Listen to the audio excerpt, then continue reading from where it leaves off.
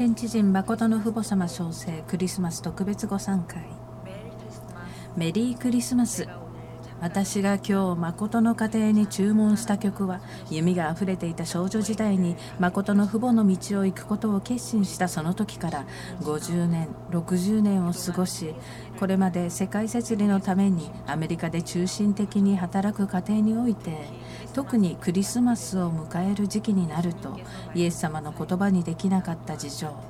私もまた同じ事情を抱える中でなぜイーミジャの歌が心に響いたのか60年の歳月が過ぎて韓国に戻り摂理を始めるようになってなぜこの歌が思い浮かんだのでしょうか皆さんは知らなければなりません。天一国に安着したら何をすべきでしょうかここに集まった指導者の皆さんは絶対的に私と一つになって心を一つにして実践休校し必ずや天の父母様が自由に活動できる環境圏をこの国から世界に拡散させる上で私たち1世2世3世が動員されなければなりません。こうした設理の完成時代が到来したのにそれほどにも待ちわびてわびてきた誠の父母が地上に権限したのにそれを知らずに流れてしまう人がいるなら彼らが霊界に行ってからどれだけ嘆くことでしょう。私たちは教育しなければなりません。教えてあげなければなりません。今や一人娘平和の母誠の父母の前に整列されたキリスト教圏宗教圏の世界になるべきことを強調します。そのように進んでこそ人類の未来地球の未来に希望があるということを示さなければなりません今日この日を期してイエス様の事情と誠の母の事情を深く感じる私と同時代に生きている皆さんがどれほど幸せな位置にいるかということを深く深く体験するこの時間この日になることを祝願します。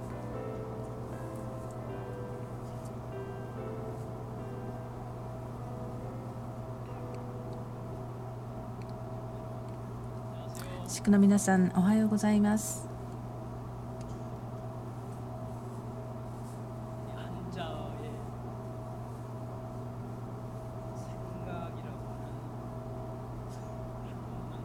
漢字の「思う」という字には不思議な意味が込められていると思います。漢字というのはこの自然界の模様をこの文字にあつらえたあつらえてできたものです。思うという字は心という字に田んぼの田。心の畑で育つものが思考。という意味から作られた文字だと思います。考えること思うことは農夫が畑に種を植えるの植えることと同じだという意味からこの「思う」という字を考えることができると思います。収穫する実りはどんな種を植えたかによって変わる変わってきます。豆を植えれば豆が小豆を植えれば小豆が収穫されるからです。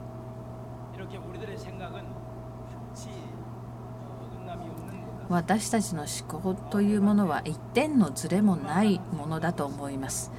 心の畑に恨む思いを植えれば恨みの実が実り憎む思いを浮かべれば憎しみの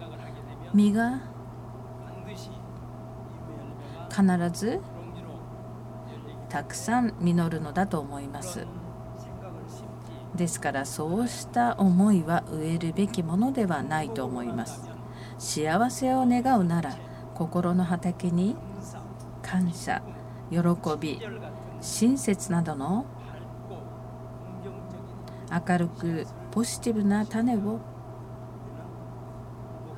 植えるべきです。人間この関係学の大家と言われるデール・カーネギーという人が幸せなことを考えると幸せになり不幸なことを考えると限りなく不幸になるという言葉を残していますがそういった意味もここにあると思います。思考というものは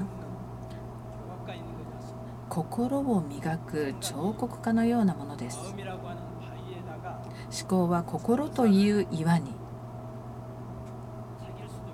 天使を掘ることもでき悪魔を掘ることもできるからです。天使を掘れば心は天使のように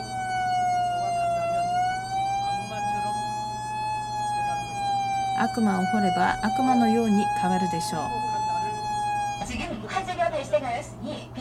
비상구를통하여신속히대피하시기바랍니다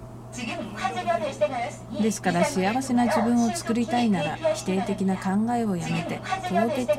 な考えをしなければならないそういう姿勢で自分の人生を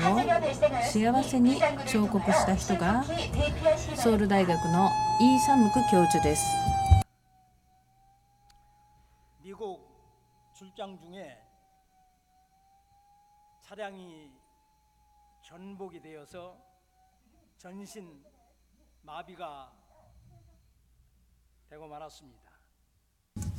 彼はアメリカ出張中に車が転覆して全身麻痺になってしまいました動くことができなくなりましたが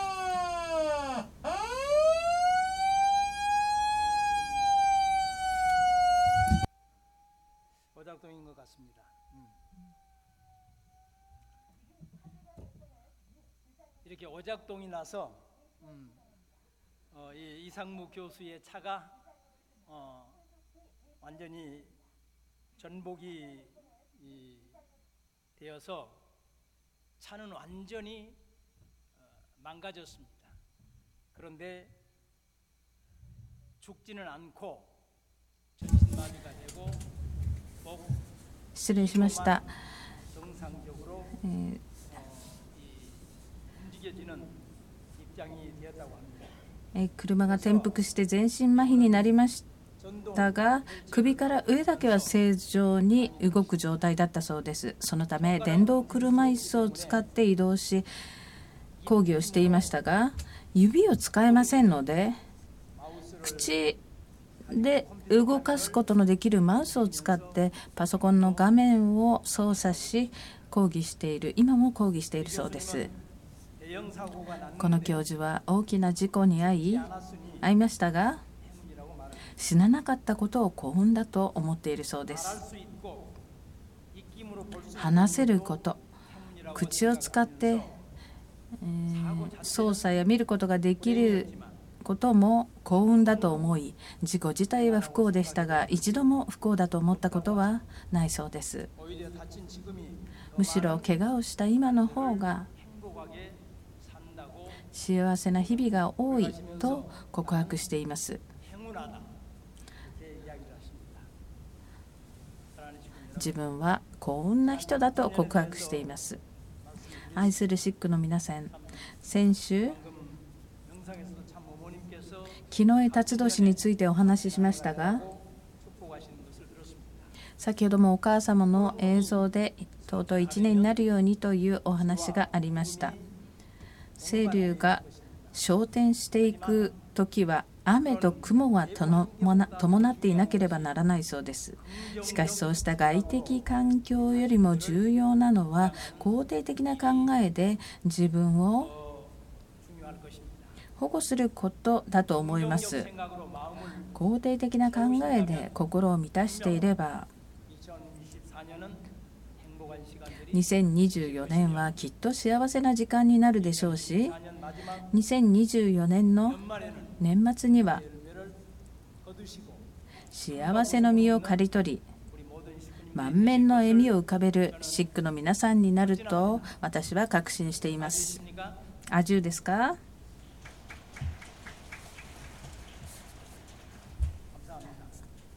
ありがとうございます。こうした肯定的な思考の土台の上に幸せな人生を過ごすように信仰も行いが伴わなければ死んだのと同じだとヤコブ書の2章14節から17節に記録されています。兄弟たちをもし信仰があるならばあるのに行いがなければ何の意味があるだろうかと記録されています。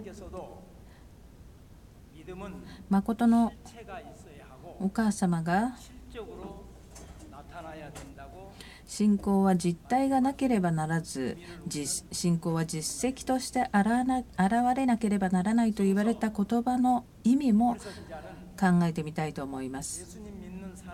ヘブライ人への聖書ヘブライ人への手紙の作者はイエス様を信じる人がだんだん信仰が中途半端になって疲れていくことに対して約束されたメシアを受け入れたのに彼らの熱意が冷めていくのを見てまたユダヤ教の慣れ親しんだ方法に戻りたいという誘惑に陥っていく姿を見て強く積極的に信仰を守るように諭しています。まるでイエス様が昨日十字架にかけられたかのように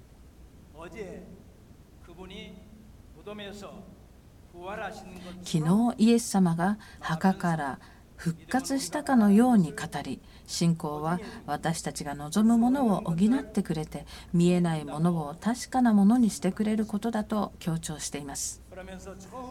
そして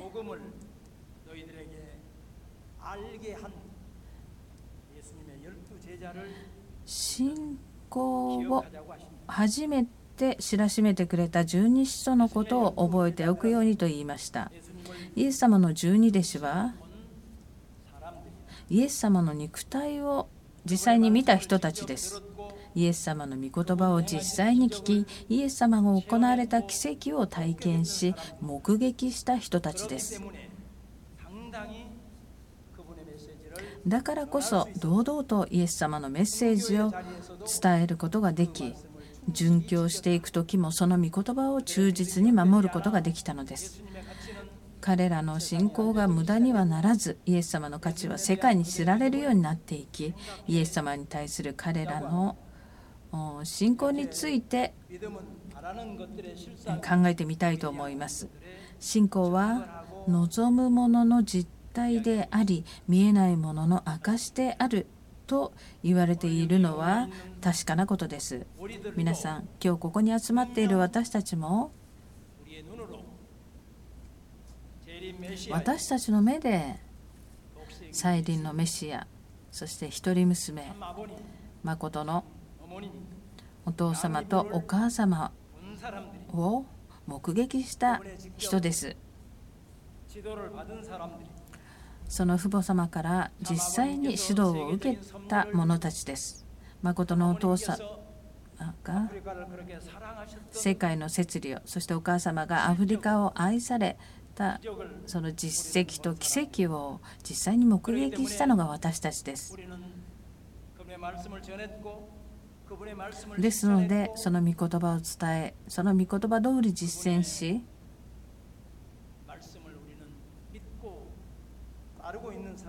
御言葉に信じて従う者たちなのです。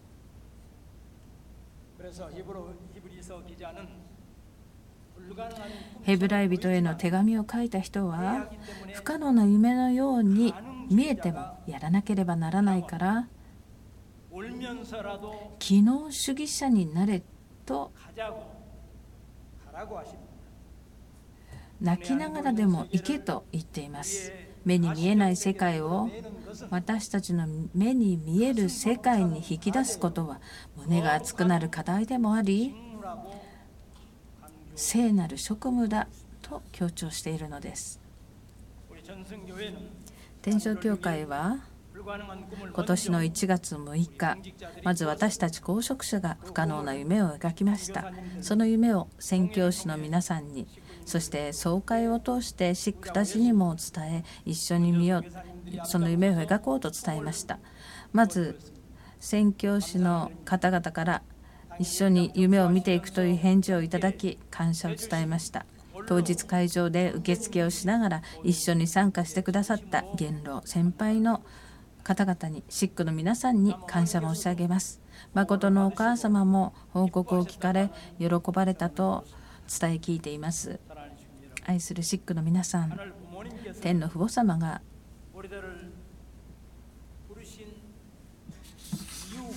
私たちを呼ばれた理由が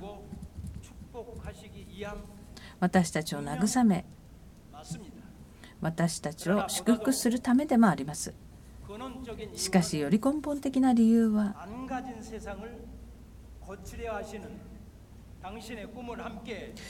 壊れた世界を直そうとしている神様の夢を一緒に見ようと言って、えー、呼ばれたのだと思います。そう同意なさいますか？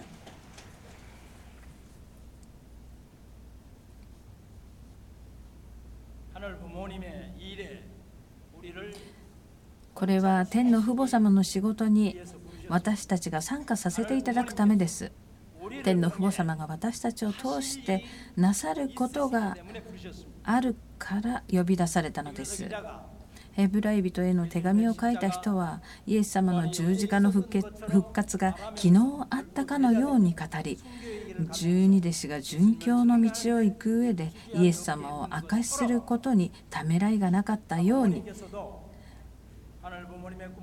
誠のお母様も天の父母様の夢を成就するためにご苦労され誠のお父様が昨日霊界に行かれたかのように私たちが心を合わせて祈ればいつでも誠のお父様は薬事してくださるのだと言われました。だから天津園は誠のお父様の執務室でありまた冷静時代の心情体術の場として祝福してくださったのです2世のキム・ドンヨン YSP 会長は代表祈祷をした時に今も薬事してくださっていますが私たちがもっとうまくもっと多くの実績を上げて誠のお母様に孝行したいので誠のお父様に大きな声で祈るのだと祈祷の中でそういった時にその場にいた人たちは皆涙を流して同じ心情の共感をしました2世3世の霊世が本当に住んでいて天性に近いことを感じさせられるひとときでした。愛するシックの皆さん、天の父母様が私たちを呼ばれ、私たちを通してなさりたいことは何でしょうか？キリスト教では天の父母様が人間を通してなさりたいことをモーセをしない山に呼ばれて10回をくださることで示されました。他の神に仕えてはならないという、1番目の10回から隣人のものを貪ってはならないという戒めまで出エジプト記20章1節から17節に書かれています。1番目から4番目の戒めは人が天の父母様に対して守る戒めであり5番目から10番目までの戒めは人が人に対して守る戒めとして与えられました天の父母様に対する愛は重的な愛であり隣人に対する愛は王的な愛です。2つではなく1つなのです。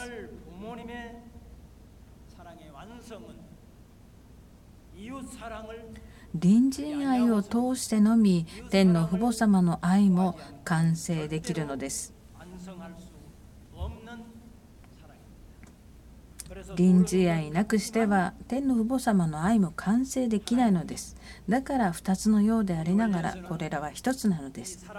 私たちの原理ではこの愛の関係をカインとアベルの関係で解き明かしています。サタン側のカインは天の父母様側のアベルを愛し中保とし屈服し従順に従ってアベルを通さなければ天の父母様のもとに行くことができません。しかし問題はカインがその原理を知らないことです。もし知っていたとしても守ることは難しいのです。いえ守ろうとはしないでしょう。なぜなら兄としてのプライドがあるからです。アベルも兄と一緒に天の父母様のもとに行かないと関係回復できないことを知っていますが現実的にそうすることは難しいのです。一人で行けば天の父母様はお前の兄はどこにいるのかと聞かれることでしょう。方法は一つしかありませんイエス様が知らないで行う彼らを許してほしいと言われたようにアベルは愛で兄カインを自然屈服させ天の父母様の前に進み出て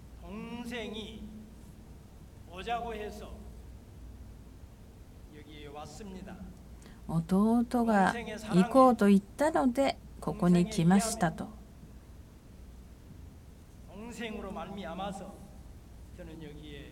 弟のおかげでここに来たんだと証しさせることこれが不機嫌理です。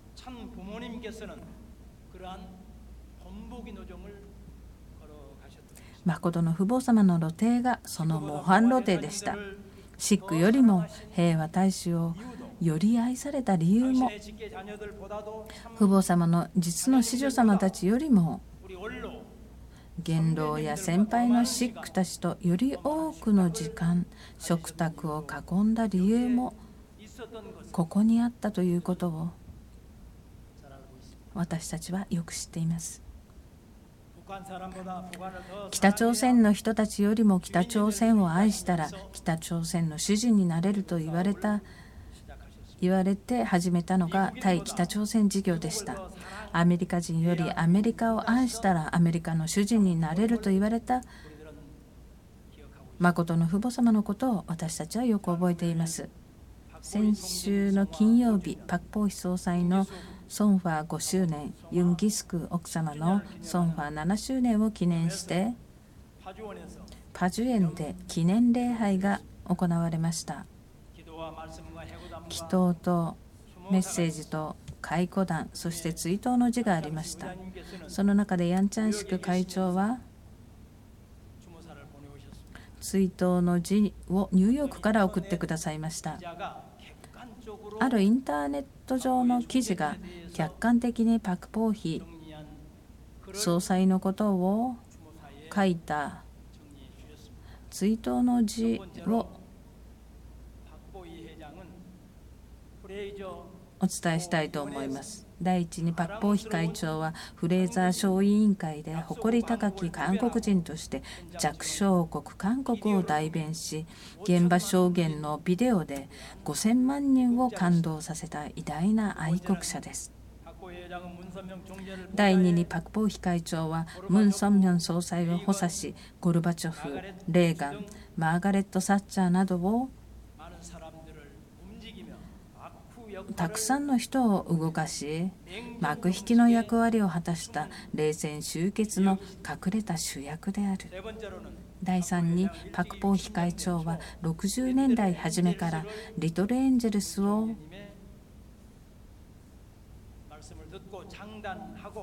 ムン総裁によって相談しさらにユニバーサルバレエ団設立を主導して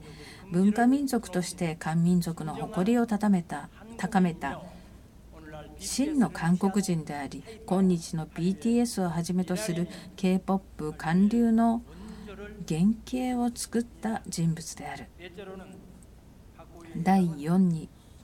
パク・ポーヒ会長は1990年ムン・ソンミョン総裁と金日成主席との会談を導き出しさらに金日成主席亡き後安禄岩を渡ってでも弔問するようにと言われたムン総裁の命令を受け当時新聞社の会長として現行法を犯しても南北和解の大きな糸口を開いた統一の大きな仕事人それがパク・ポーヒ会長であると、うん、まとめた文章を引用して追悼の辞を送ってくださいました。フンスク様が感謝の辞を伝えお二人は絶対信仰を貫く人でありすべての焦点を誠の父母様に合わせて生きてきた方だったと伝え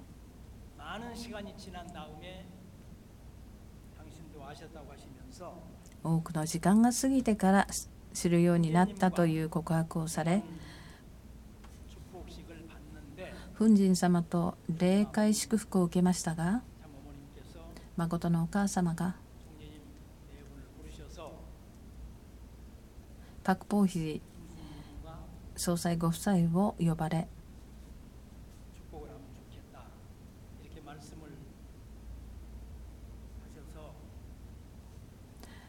えー、フンスク様と祝福を受けてはどうかと言われた時パク・ポーヒ総裁は一瞬のためらいもなく「はいそういたします」とその場で返事をされ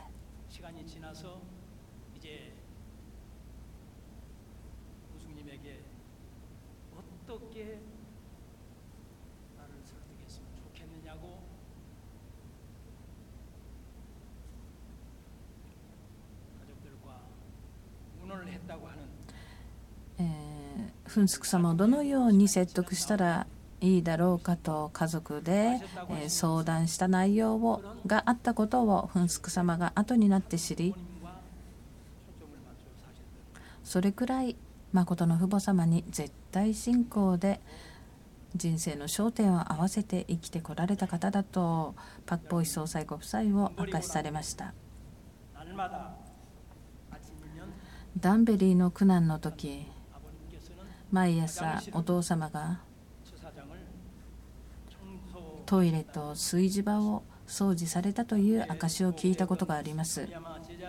一緒に投獄されていた弟子の神山氏が泣きながらそれは私が代わりにやるのでと進言しましたがお父様は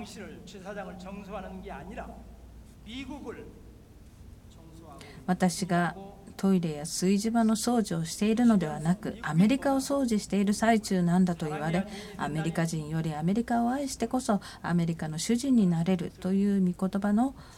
証しをされた逸話があります。そのように誠の父母様がメシアとしてのお手本の道を歩まれたのです。そしてその道に従った弟子としての人生を歩まれたのがパク・ポーヒ総裁でした。その道がメシアの道であり胸が張り裂けそうな課題であり聖なる職務だったのです。愛するシックの皆さん天の父母様の夢は人類救済です。天の父母様は多くの子女をお持ちの親なのです。優秀な子女を見れば誇らしく思われることでしょう。大変な思いをしながら苦労して生きている子女を見ればかわいそうに思われることでしょう。しかしそのような兄弟を助けようとする子がいれば親は大いに喜ぶことでしょう。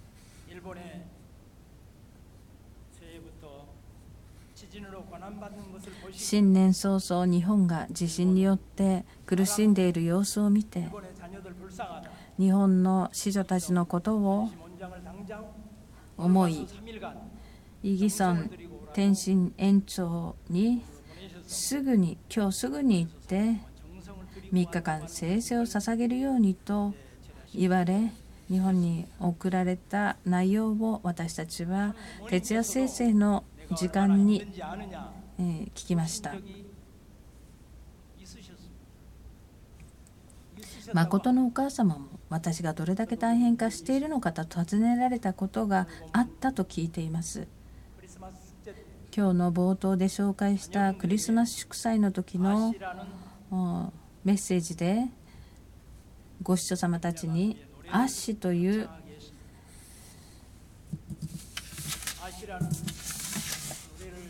の意味者の歌を歌わせました「足」という歌はこの親のもとを離れて夫と新しく始める人生が最初は花道のようであっても次第に重くなっていく人生の中で茨の道になっていく様子から家族を支えとし最初の頃を思い出しながら一世代を過ごしてきた母親のストーリーが込められた歌詞なのです。冒頭の御言葉のように誠のお母様はイエス様の事情とご自身の事情がオーバーラップして思い出された歌だと表現されています。私はなぜ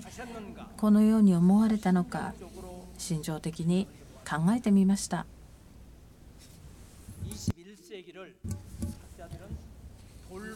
21世紀は介護の時代と言われています。一人では生活が不自由な人の身体的不自由をサポートすることだけが介護ではなくその身体の不自由さ以上に心もきめ細かくケアすることを指している言葉が介護だと思います。一方的に弱者や障害者を助けること以上に一つのコミュニティの中でお互いがお互いに寄り添い世話をする時代だと定義しています。ですから私たちは皆世話をする人であり世話を受ける人であるということです。ですので母親にも母という存在が必要な世の中なのです。母親にも母が必要な時代。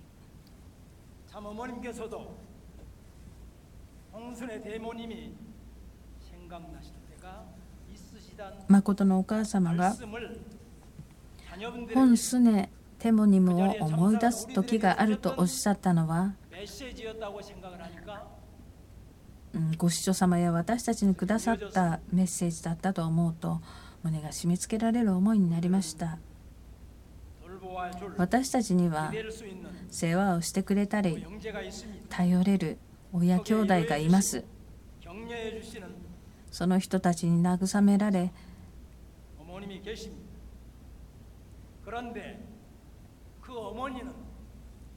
励まされますが誠のお母様が一人娘誠のお母様が誰から慰められ誰を頼りにできるでしょうか。誠のお母様の夢はビジョン2025ビジョン2027にあります。人類初。地上に天の父母様をお迎えして安着できる天苑宮天一聖殿入宮をビジョンとして提示され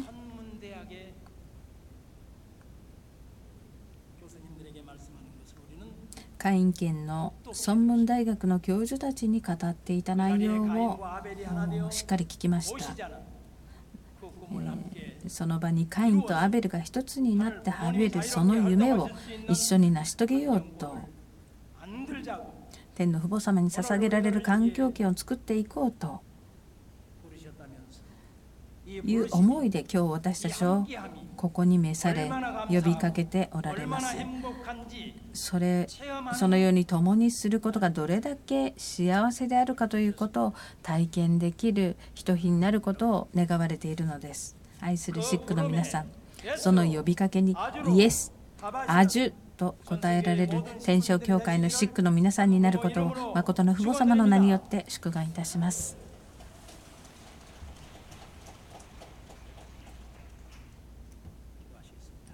お祈りいたします。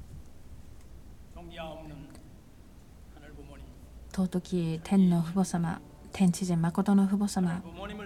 天の父母様のことを思うと、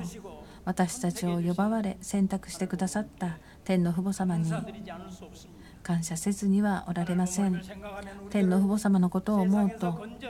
私たちを世の中から救い出しあなたの懐へと導いてくださったことにもまた感謝いたします。考えてみますとどのような状況でも信仰によって人生は作られ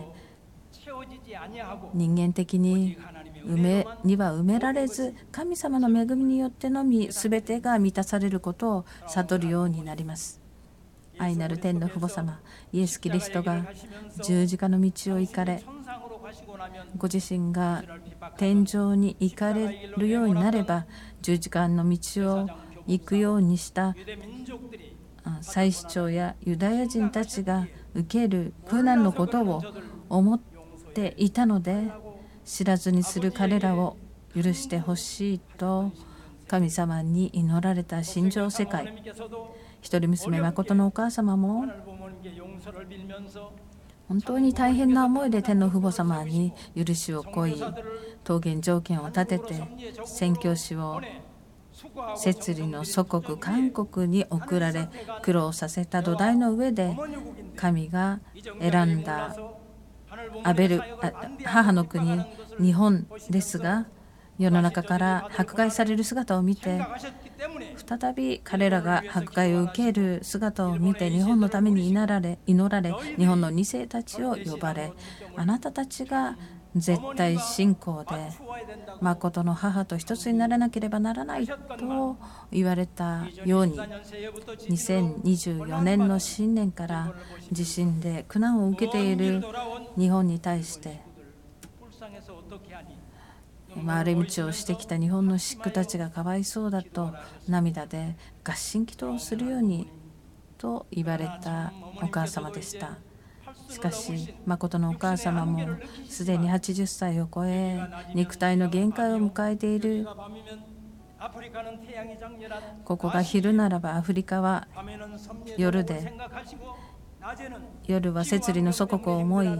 昼は気候変動で苦しんでいるアフリカのことを思い心配されお疲れになったのか。こんな時にお母さんがいてくれたらとテモニムのことを思い越されたお母様でした。私たちには慰めてくれる人たちが身近にいますが一体お母様には誰がそのような人がいるのでしょうか。天の父母様だけがお慰めすることができるのではないでしょうか。公的な立場に立たれるがゆえにビジョン2025天苑宮優遇の時まで天の父母様がそれほどまでに探してこられた天一国の民。兄弟たちの手を取り合って天苑団地を埋め尽くすことができるように今日私たち足りない私たちを呼ばれたのだと思います。より大きな設理を私たちが担当できるかとは思いますが私たちは絶対信仰絶対愛絶対服従でその証明に対してイエスと答えたいと思います。今日ここに集まった私たちを一人娘誠のお母様の前に後世の心情で心情を捧げることでお母様がお慰めできることを願っています。愛なる天皇父母様。この1週間建てられた機関企業体の皆様のもとにもあなたの愛が共にあることを願います。この時間も病気と戦っている兄弟姉妹がいるならば親しい思いで、えー、見つめている兄弟姉妹がいるならば愛の心情で慰めてくださいますように。1週間。